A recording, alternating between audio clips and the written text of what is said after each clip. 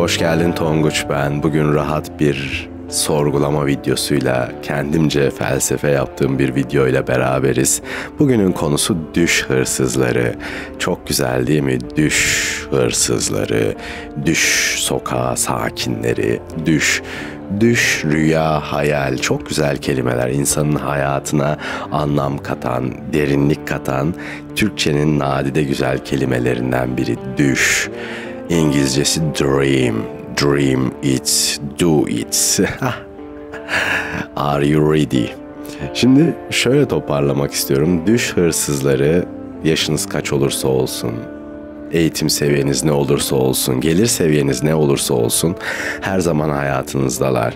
Sizin hangi arabaya bineceğinize, hangi saati takacağınıza, nasıl bir yatakta yatacağınıza, tişörtünüzün rengine, nasıl bir sevgiliyle beraber olacağınıza, kariyer seçiminize hepsine müdahale etmek isteyen, hepsine müdahil olan insanlara ben düş hırsızı diyorum. Türk toplumunda öncelikli olarak en büyük düş hırsızları ailelerimiz ailelerimiz hep bizim kendi hayatımızda çizmek istediğimiz yolu, yürümek istediğimiz yolu baltalayan şekilde davranıyorlar. Bize kendi yolumuzu çizmekte, kendi seçeneklerimizi, kendi istediğimiz meslekleri, kendi oturmak istediğimiz evleri seçmemizde asla müsaade etmiyorlar. Büyük olasılıkla evlenmek istediğimiz insanlara bile karışıyorlar. Bu düş hırsızlarının en büyük özelliklerinden biri aslında düş hırsızı olduklarının farkında değiller. Bunun farkındalığına varmaları da bence gerçekten çok zor. Çünkü bir insan bu soruyu kendinize de sormanızı istiyorum. Bir insan gerçekten kötü olduğunu bilebilir mi? Kötü olduğuna inanabilir mi? O filmlerdeki kötü karakterler muhahaha ne güzel de patlattım orayı. Ne güzel de işte onu sevgilisinden ayırdım. Onun işini baltaladım. Çekini ödemedim, senetini ödemedim. Oh fistan yandan falan. Böyle bir kötü karakterler yok. Herkes yaptığı şeyin e, etkinin doğru olduğuna, yaptığı eylemin doğru olduğuna ve karşı tarafın kötü olduğuna inanır. Hiç kimse kendisinin kötü olduğuna ne yazık ki inanmaz ve umrunda da değildir. Aynı şekilde düş hırsızları da kendilerinin düş hırsızı olduğunun farkında değildir farkında olmadan kendi bildikleri doğruları sana aşılamaya çalışırlar. Bu biraz da ego ile alakalı sanırım. Kendileri yeni bir şey öğrenmek veya sizi sorgulatırken bir konuyla alakalı, bir doğruyla veya bir yanlışla alakalı hiç umursamazlar. Bir örnek vereyim.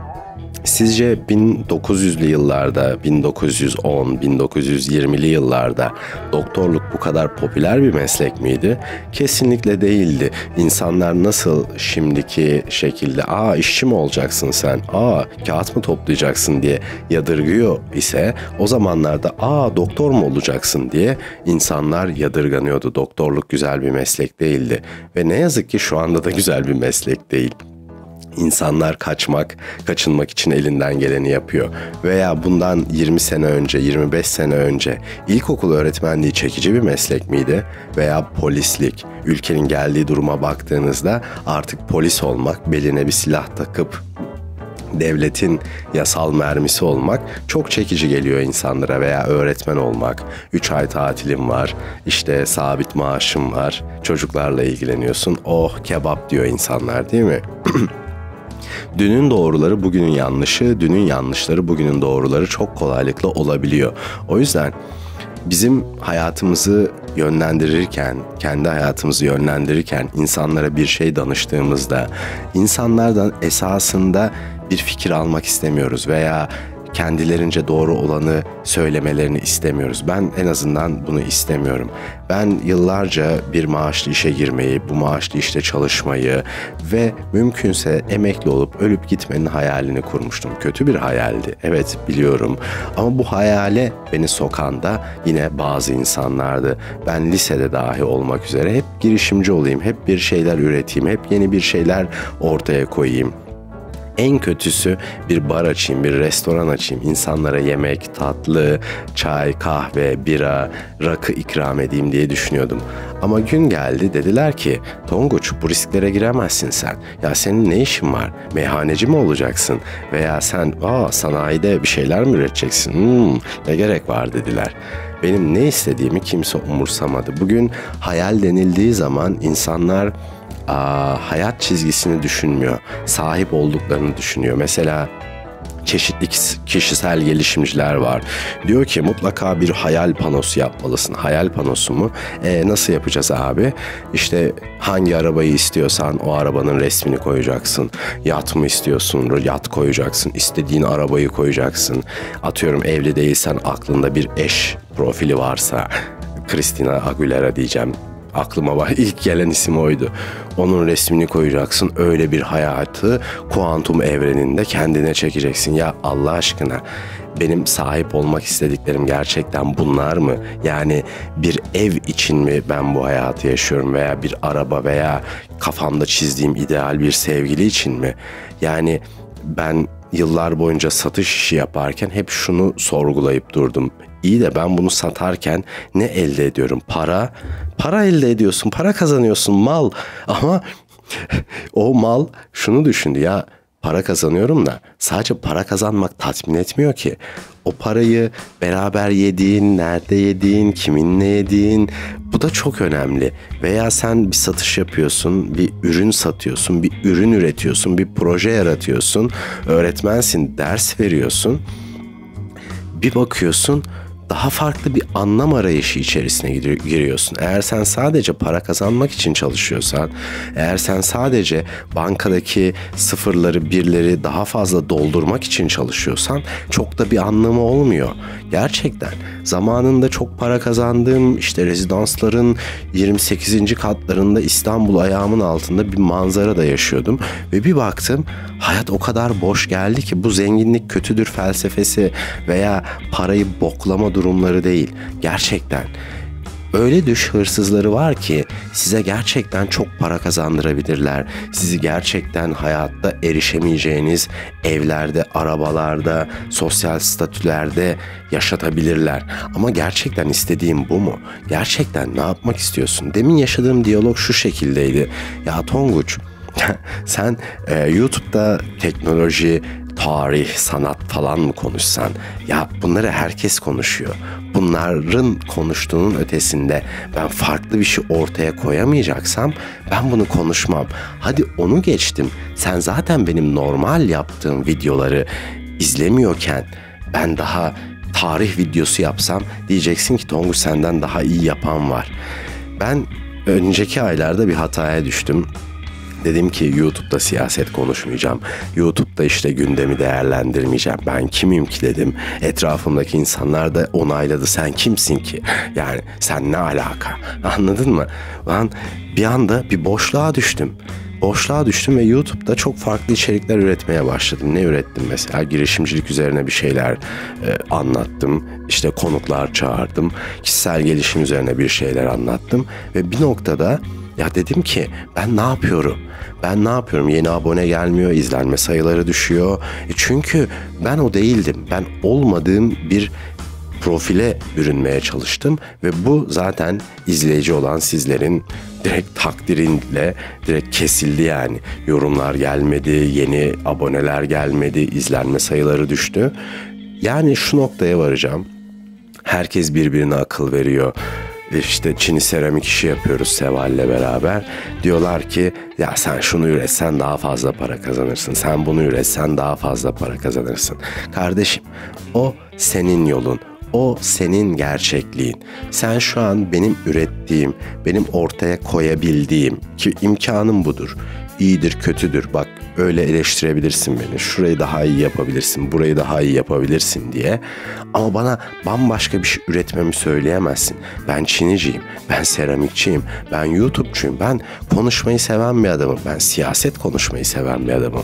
Sen gelip bana tarih konuş dersen ki benim alanım değil, sadece para kazanmak uğruna tarihle alakalı kendimce makaleler toplayıp bundan yeni bir makale yazıp o metni okuyup üzerine çeşitli videolar videolar koyduğumda yani bu beni tatmin edecek bir şey değil ki. Bu beni mutlu edecek değil.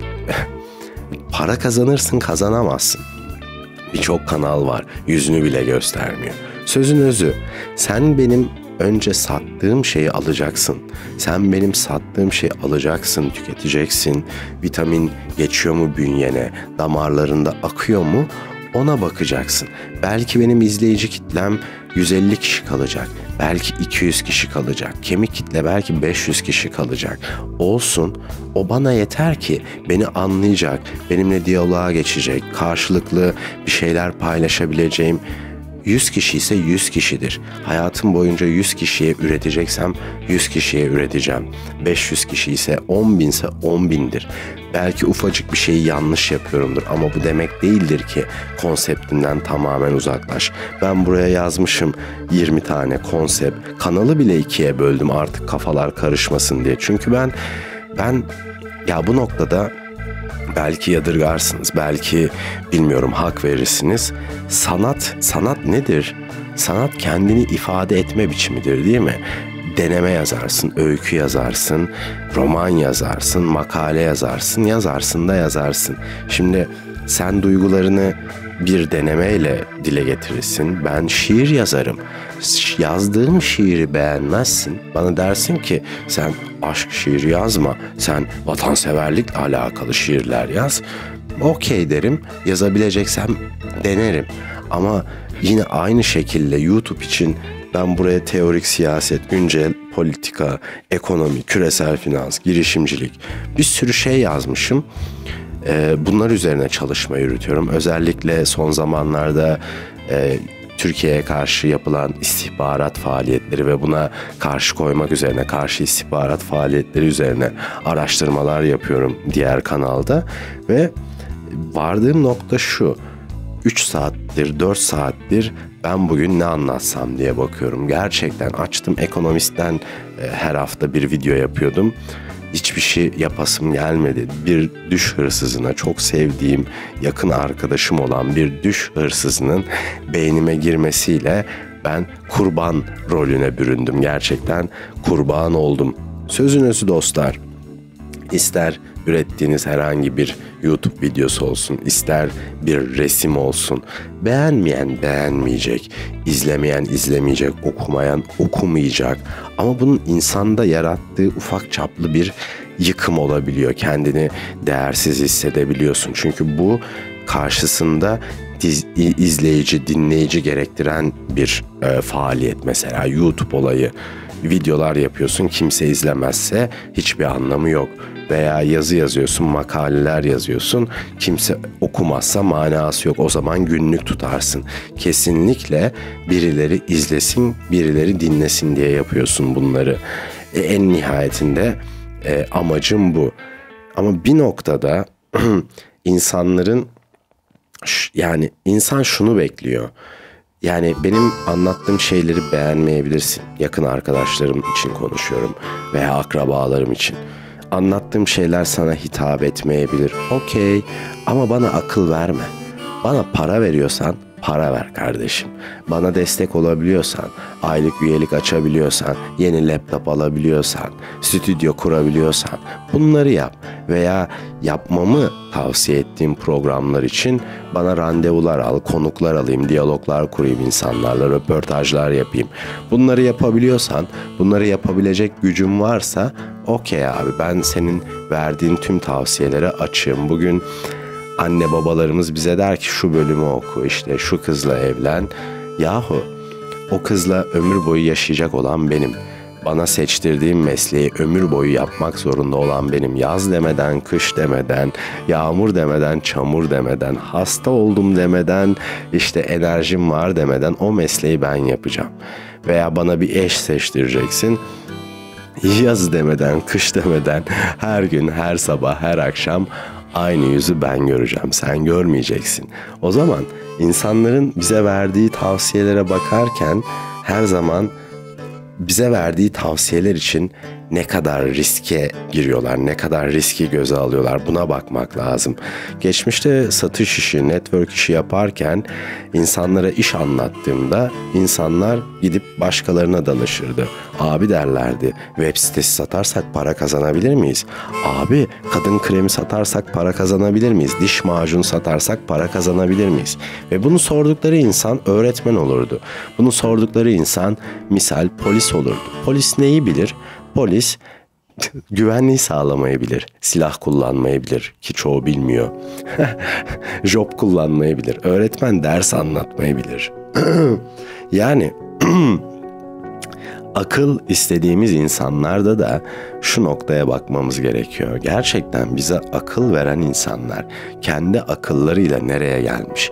Bazen Bazen zor durumda biriyle karşılaşıyoruz. Bu bir arkadaş olur, sevdiğimiz bir e, dostumuz olur. İster istemez bir şeyler anlatmak, bir şeyler paylaşmak. Yani onun tarafından ilgi görmek istiyoruz. Yani zor durumda olan kişi tarafından veya bize derdini anlatan kişi tarafından onun tarafından sevilmek istiyoruz. Evet ben seviyorum sizi. Seviyorum bana akıl da verin. Eyvallah. Bu benim yapacağım anlamıma anlamına gelmez ama ben en kırılgan olduğum dönemde bunu yaptığında insanın düşlerini, hayallerini, umutlarını yıkıyorsun.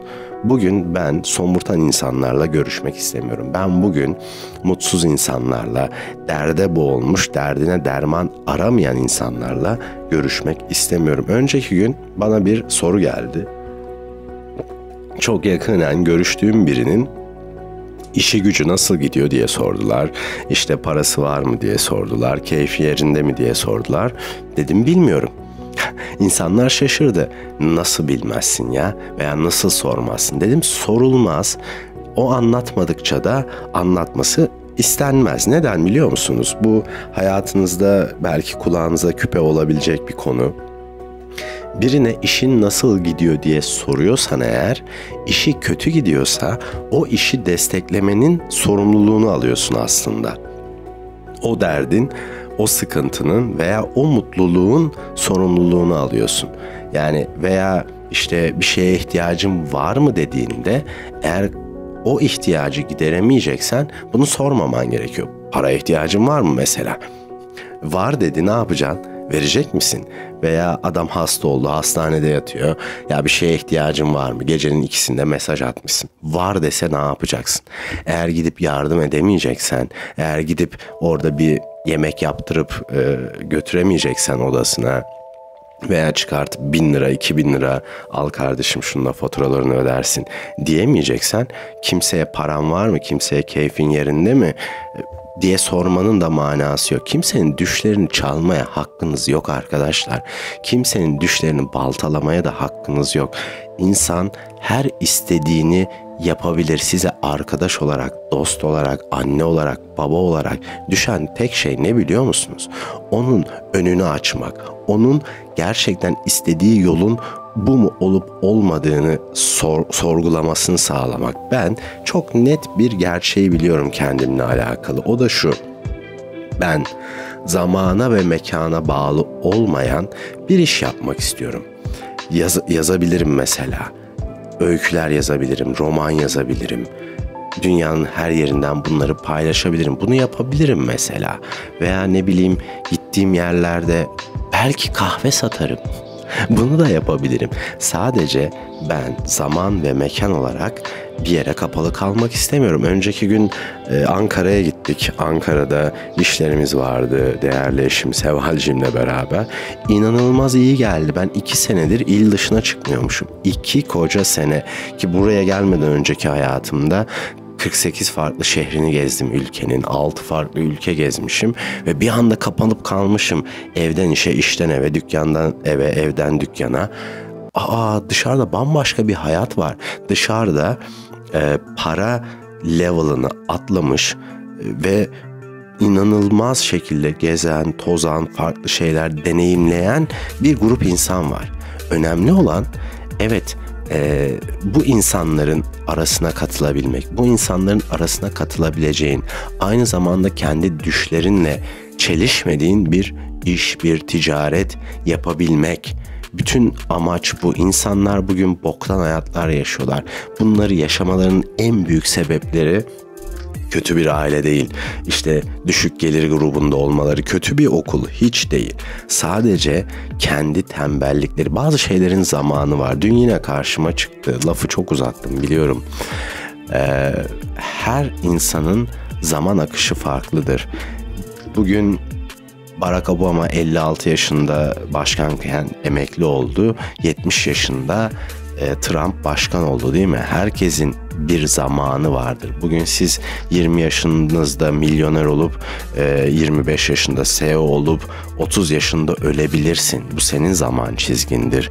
Veya sen 40 yaşında evlenip 45 yaşında çocuk sahibi de olabilirsin. Bu senin zaman çizgindir.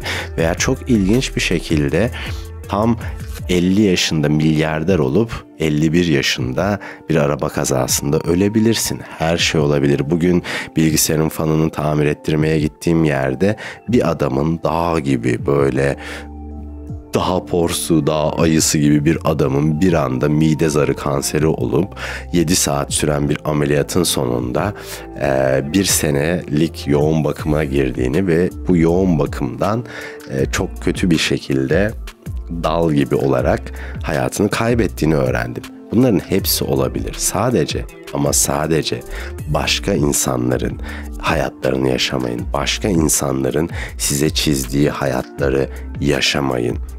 Hayalinin peşinde koşabilirsin, başarısız olabilirsin, aç kalabilirsin, susuz kalırsın, evsiz kalırsın.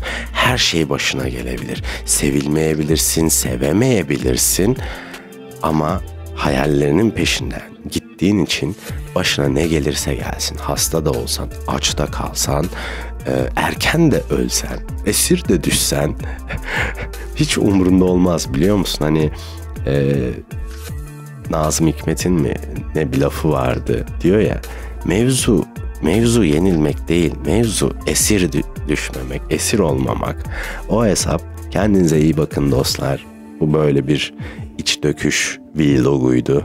Vlog 2 olsun. Birincisini geçen hafta yayınlamıştım. Görüşürüz.